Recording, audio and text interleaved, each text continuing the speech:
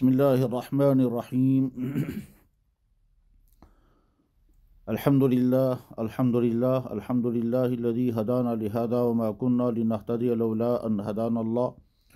والصلوات والتسليمات والتحيات على سيد الأنبياء والمرسلين وعلى آله الطيبين الطاهرين وأصحابه أجمعين. آمين. حضرات موجودہ وبائی بیماری کی جو صورتحال ہے، اس صورتحال کے متعلق شرعی احکام پورے عالم کے مستند علماء کی طرف سے بھی اور خود یہاں اس خطے کے ہر جگہ کے معتبر اور مستند علماء کی طرف سے بیان کیے جا چکے ہیں۔ اس کے باوجود بہت سارے بھائیوں کو طرح طرح کے خدشات، شکوک شبہات اور سوالات ہیں۔ اس تناظر میں بہت سارے بھائیوں کا مسلسل یہ اصرار ہو رہا ہے کہ ہم بھی اس سلسلے میں کچھ گزارشات پیش کریں۔ اس مسلسل اصرار کی بنا پر مجبور ہو کر یہ چند باتیں عرض کی جا رہی ہیں۔ اس لیے نہیں کہ آج کے اس ماحول میں کوئی بولنے کا شوق ہو یا ضرورت بہت زیادہ ہے یا کسی اور نے یہ ضرورت پوری نہیں کی، اس بنا پر ہم یہ ضرورت پوری کر رہے ہیں۔ نہیں، بلکہ یہ جو آگ لگی ہوئی ہے، اس آگ کے بجھانے کے لیے اور اس آگ سے محفوظ رہنے کے لیے شرعی طور پر جو ذمہ داریاں ہیں ان ذمہ داریوں کو پورا کرنے کے ارادے سے اور ہمارے بہت سارے بھائیوں کے مسلسل اصرار اور بہت سارے وہ بھائی جو اس انتظار و توقع میں ہیں کہ یہ بھی کچھ کہیں گے، اس لیے مجبوراً یہ مختصر گفتگو عرض پیش کی جا رہی ہے۔ حضرات، اللہ نے اپنا دین انسانوں کے لیے بھیجا، جس اللہ نے یہ کائنات بنائی اور اس کائنات میں انسان کے تمام ضروریات پورا کرنے کے وسائل پیدا کیے۔ اسی اللہ نے بیماریاں بھی رکھیں اور اسی اللہ نے ان بیماریوں کے لیے شفا کے ذرائع بھی رکھے ہیں۔ جس دین کو ہم مانتے ہیں، یہ دین دین حق ہے۔ اس دین حق میں ہر طرح ہر طرح کی صورتحال کے لیے اللہ اور اللہ کے نبی نے احکام بیان فرمائے ہیں۔ اس وقت کی اس موجودہ صورتحال میں پہلا سوال یہ ہے کہ مسجدوں میں نمازیں پڑھی جائیں یا نہیں۔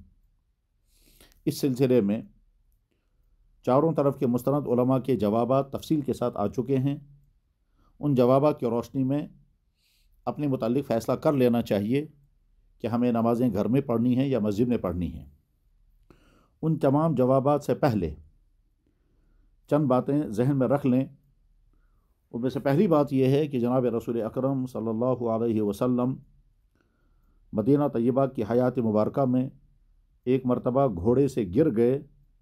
اور آپ کا دائیں پہلو بہت سارا حصہ مخدوش یا زخمی ہو گیا اور اس کے نتیجے میں آپ نے ایک مہینے تک اپنے حجر مبارک میں نماز ادا فرمائی اور وہ بھی بیٹھ کر کے نماز ادا کی۔ یہ واقعہ حدیث کی کتابوں میں بھی اور سیرت کی کتابوں میں بھی موجود ہے۔ حدیث کی کتابوں میں بخاری شریف میں متعدد جگہ پر یہ حدیث ہے جس کے الفاظ مبارک کہیں اس طرح سے ہیں کہ فجوحیشہ شک الایمن آپ کا مبارک دائیں پہلو زخمی ہو گیا۔ پھر آپ نے ایک مہینے تک اسی مبارک حجرے میں نواز ادا فرمائی ہے۔ اس بات کو ذہن میں رکھ لیا جائے تاکہ آئین آگے چل کر کے مسئلے کی سمجھنے میں آسانی رہے۔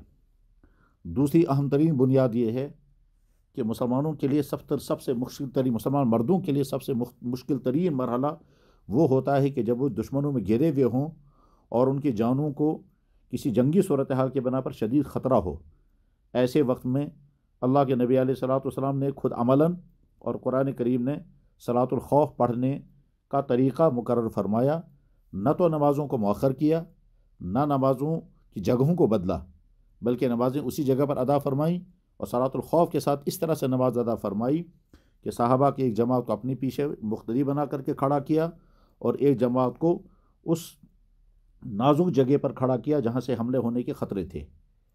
اور اس طرح سے نماز خوف ادا فرمائی۔ اس کے معنی یہ ہیں کہ مشکل سے مشکل حالات میں بھی نماز معاف نہیں ہوتی ہے۔ لیکن اس کے ساتھ ہی تیسری بات یہ بھی ذہن میں رکھ لیں۔ ہاں یہ نماز خوف کا تذکرہ حدیث کے تمام کتابوں میں پورے عنوان کے ساتھ آتا ہے، باب الصلاۃ الخوف۔ اور حدیثی میں نہیں، قرآن کریم میں بھی نماز خوف پڑھنے کا کے متعلق ارشاد فرمایا گیا۔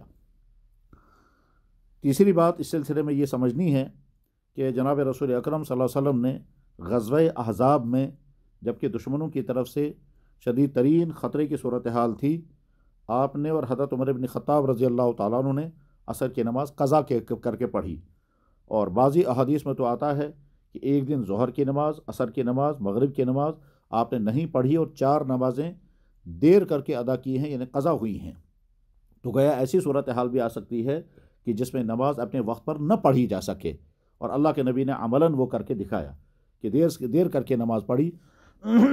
چنانچہ حضرت عمر ابن خطاب رضی اللہ تعالیٰ عنہ آپ علیہ السلام کی خدمت میں حاضر ہوئے اور عرض کیا کہ یا رسول اللہ، میں عصر کی نماز نہیں پڑھ پایا، یہاں تک کہ سورج ڈوب گیا۔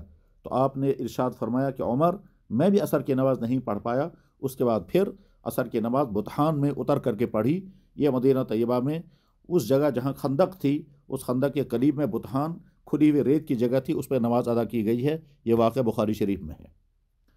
ان تین بنیادوں کو سامنے رکھ کر کے چوتھی بنیاد بھی سامنے رکھیں، وہ یہ کہ شریعت اسلامیہ جیسے احکام دیتی ہے، ویسے شریعت اسلامیہ رخصتیں بھی دیتی ہے۔ چنانچہ مختلف آزار کی بنا پر جماعت کی نماز چھوڑنے کی اجازت دی گئی۔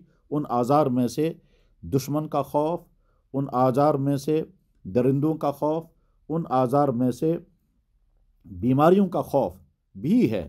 چنانچہ فقہ کرام نے جن آزار کی بنا پر نمازوں کو نماز، جماعت کی نماز چھوڑنے کی اجازت دی ہے، وہ تقریباً پندرہ یا بیس آزار ہیں، جن آزار کی بنا پر ترک جماعت کی اجازت دی گئی ہے۔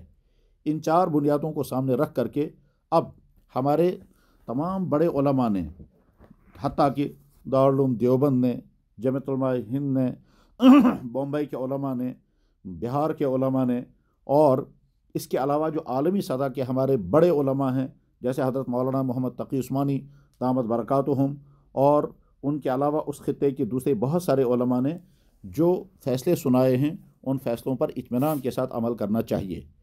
ان فیصلوں کا خلاصہ یہ ہے کہ مسجدوں میں اذان اور جماعت تو قائم رہے گی۔ مگر کم سے کم کم سے کم تعداد مسجدوں میں پہنچے، اس لیے کہ اس وائرس کے پھیلنے کا سبب عموم ڈاکٹروں کے ماہرین کے مطابق بھیڑ بتائی جا رہی ہے۔ لہٰذا جتنے کم سے کم بھیڑ ہو اتنے زیادہ اس وائرس سے بچنے کے امکانات ہوں گے۔ لہٰذا مساجد میں امام معذن اور چند آدمی، جس میں دو، تین، چار، پانچ افراد ہوں، وہ جماعتیں پڑھیں۔ اور وہ بھی صفائی کا پورا اہتمام کریں، صفائی کی وہ تمام چیزیں اختیار کر لیں جن چیزوں کی تلقین ہمارے ڈاکٹر صاحبان کر رہے ہیں۔ اور اس کے بعد بھی نماز بھی قائم رہے، جماعت بھی چلتی رہے اور باقیہ لوگ اطمینان کے ساتھ اپنے گھروں میں نماز پڑھیں۔ اس میں کچھ لوگ تو وہ ہوں گے کہ جو بہت اہتمام کے ساتھ جماعتوں کی نماز پڑھتے تھے، ان کو بہت شوق ہوگا۔ ان کی طبیعتیں آمادہ نہیں ہوں گی۔ ان کو جی چاہے گا کہ ہم مسجد میں جا کر کے نماز پڑھیں۔ ان کے لیے حکم یہ ہے کہ جب یہ صورتحال ہو جس صورتحال میں خطرناک بیماری میں مبتلا ہونے کا خطرہ ہے، تو اس وقت ان کو اپنا شوق چھوڑ کر کے اپنے گھروں میں نماز پڑھے، نماز پڑھنے کا اہتمام کرنا چاہیے۔ اور اس میں جو جماعت چھوٹ رہی ہے، اس جماعت کے چھوٹنے کا مداوع وہ یہ کریں کہ اپنے گھروں کے اندر جماعت کر لیں۔ تو جب گھروں میں جماعت وہ کریں گے، تو مسجد میں نماز ترک کرنے کا نہ ان کو گناہ ہوگا اور جو کمی رہ گئی، اس کی بھی ضرورت ضرور تلافی ہو جائے گی۔ ساتھ میں جو یہ احساس رہے کہ یا اللہ ہم آپ کے گھر میں آپ کو سجدہ کرتے، اس سے ہم اس وقت محروم ہو رہے ہیں۔ اس کے مقابلے میں ہم آپ کو وہی سجدہ کر رہے ہیں مگر اپنے گھروں میں اپنے اہل و عیال کے ساتھ کر رہے ہیں۔ تو انشاءاللہ اس اجر میں کمی نہیں ہوگی۔ جو اجر اصل میں متعلق ہوتا ہے انسان کے جذبے کے ساتھ۔ اس کے ساتھ ہی دوسرے حضرات جو مسجد میں جا سکتے ہیں، مثلا نوجوان حضرات، تو وہ اگر احتیاط کی بنیاد پر مسجد نہیں جائیں گے تو گنجائش ہے اور اجازت ہے۔ لیکن اگر لیکن اگر سستی کی بنا پر مسجد نہیں جائیں گے اور یہ سمجھیں گے کہ بہت اچھا ہو گیا، ہمیں کنسیشن مل گیا، تو اور اس سستی کی بنا پر مسجد ترک کر رہے ہیں اور خوشی محسوس کر رہے ہیں، تو یہ جذبہ صحیح نہیں ہے۔ بعض دفعہ نیتوں کی بنا پر مسائل بدل جاتے ہیں۔ احساس یہ رہنا چاہیے کہ کاش ہم مسجد میں جاتے اور مسجد میں نماز ادا کرتے، وہ زیادہ بہتر تھا۔ اب اگر ہم موجودہ صورتحال کی بنا پر اپنے گھروں میں نماز پڑھیں گے، تو ہمیں خوشی نہیں ہے اس مجبور مجبور کن صورتحال کے اندر ہم گھر میں نماز پڑھنے میں مجبور ہیں اور اس احساس کے ساتھ جب گھروں میں نماز پڑھیں گے تو اس کا انشاءاللہ اجر ہوگا۔ گھروں میں نماز پڑھنے کے لیے اذان اگر گھر کے اندر پڑھی جائے بہت بہتر ہے، بہت بہتر ہے، لیکن لازم نہیں ہے۔ البتہ گھروں میں جب جماعت پڑھی جائے تو اقامہ ضرور پڑھیں اور اگر اپنی خواتین اور اپنے بچوں کو جماعت کے ساتھ کھڑا کریں گے تو اس کی بھی اجازت بلکہ بہت بہتر ہے۔ اللہ کے نبی علیہ صلاۃ والسلام ایک مرتبہ حضرت ام سلیم کے گھر تشریف لے گئے اور وہاں حضرت انس بن مالک رضی اللہ تعالیٰ عنہ جو کم عمر تھے، وہ یہ حدیث بیان کرتے ہیں۔ یہ حدیث حدیث کے تمام کتابوں میں موجود ہے۔ کیا آپ علیہ السلام ہمارے گھر تشریف لائے؟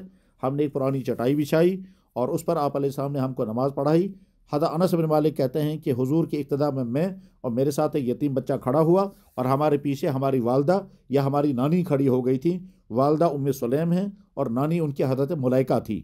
بس ٹھیک اسی طرح سے گھروں کے اندر اگر جماعت کھڑی کی جائے تو مرد حضرات ایک ساتھ بنائیں اور اس کے بعد بچوں کی سب بھی انہیں کے ساتھ ہو اور پھر خواتین کے سب پیچھے کھڑی کی جائے۔ اس طرح سے جماعت کی نماز ادا کر سکتے ہیں۔ مسجدوں کے اندر جو تلاوت اور تسبیحات پڑھی جاتی تھی اب جب گھروں میں لوگ پڑھیں گے تو اس سے زیادہ تلاوت کا اہتمام کریں، اس سے زیادہ تسبیحات پڑھیں اور یوں بھی پورا دن جب گھروں میں بیٹھے رہیں گے، کیونکہ گھروں سے باہر نکلنا ہی خطرے، خطرناک ہے۔ تو گھروں میں جو بیٹھے ہوئے ہیں، یہ سارا وقت برباد نہیں ہونا چاہیے۔ عام طور پر یہ سارا وقت تبصروں میں، ویڈیو دیکھنے میں اور فونوں پر اور ایک جگہ کی خبریں دوسری جگہ شیئر کرنے میں اور اس طرح سے طرح طرح کی باتوں میں خرچ ہو رہا ہے۔ اس کا ظاہر ہے نہ دینی کوئی فائدہ ہے، نہ اخلاقی فائدہ ہے، نہ مالی فائدہ ہے، اور نہ ذہنی سکون کی کوئی بات ہے۔ اس سے سوائے پریشانی بڑھنے کو کچھ نہیں ہوگا۔ اس لیے زیادہ بہتر ہے کہ اپنے اوقات، اپنے تمام اوقات کا نظام بنائیں اور ایک شیڈول بنا کر کے اسی کے مطابق سارے کام انجام دیں۔ جیسا کہ عرض کیا گیا، بہت سارے حضرات یہ کہتے رہیں کہ صاحب، علماء فتویٰ کیوں نہیں دیتے ہیں جلدی سے؟ تو سمجھ لینا چاہیے کہ فتوے کا تعلق حالات کے ساتھ ہوتا ہے۔ جیسے جیسے حالات ہوتے ہیں ویسے ہی فتویٰ آتا رہتا ہے۔ فتویٰ حالات کے مطابق دین منطبق کرنے کا نام ہے۔ اس لیے ایسا ہو سکتا ہے کہ ایک وقت میں ایک فتویٰ تھا اور اگلے وقت میں حالات بدل گئے تو دوسرا فتویٰ آ سکتا ہے۔ حالات کے بدل جانے سے فتوے کا بدل جانا خود فتوے کا ایک اصول ہے۔ اس لیے اس میں نہ جلد بازی کرنی ہوتی ہے اور نہ وقتی طور پر سطحیت کے ساتھ احکام سنانے ہوتے ہیں، بہت گہرائی کے ساتھ تمام حالات دیکھنے ہوتے ہیں اور ساتھ میں یہ بھی دیکھنا پڑتا ہے کہ کس جگہ کے حالات کیا ہیں۔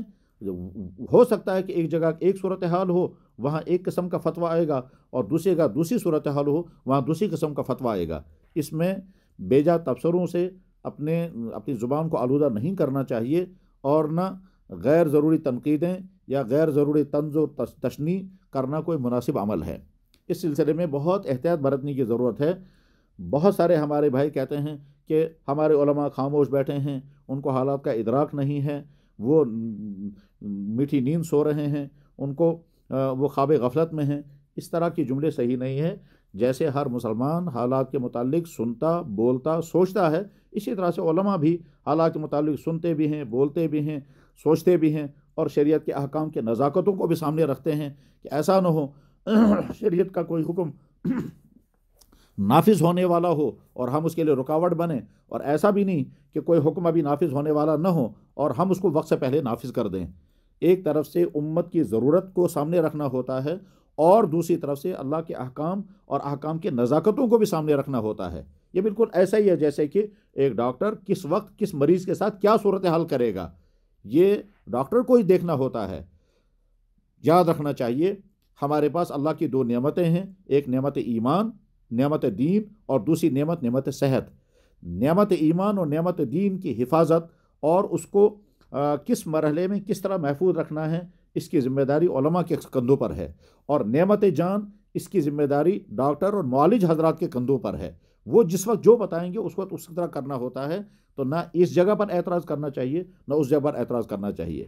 بس اس وقت یہی گفتگو عرض کرنی تھی۔ اللہ تعالیٰ ان باتوں کو سمجھنا آسان فرمائیں اور سمجھنے کے ساتھ ساتھ پھر عمل کرنا آسان فرمائیں۔ اور اس کے بعد اس وقت پورا عالم جس مصیبت میں گرفتار ہے، اللہ تعالیٰ پوری انسانیت کو اس مصیبت سے محفوظ فرمائے۔ اور امت مسلمہ کو، امت مسلمہ کو اس وبائی مرض سے خاص طور پر محفوظ فرمائیں اور اللہ جل شاہ اگر ناراض ہو کر کے انسانوں پر یہ عذاب بھیج رہے ہیں تو اللہ تعالیٰ اپنی ناراضگی کو دور فرمائیں اور انسانوں کو وہ زندگی عطا فرمائیں جس زندگی کے نتیجے میں اللہ اپنی ناراضگی، اللہ اپنی ناراضگی کو رضا سے بدل دیں۔ واخر دعوانا الحمد للہ رب العالمین۔